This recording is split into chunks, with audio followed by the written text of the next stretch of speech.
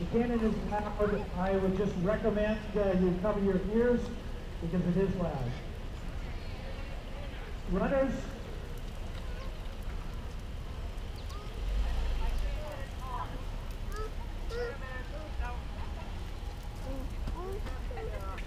runners on your mark, get set, go!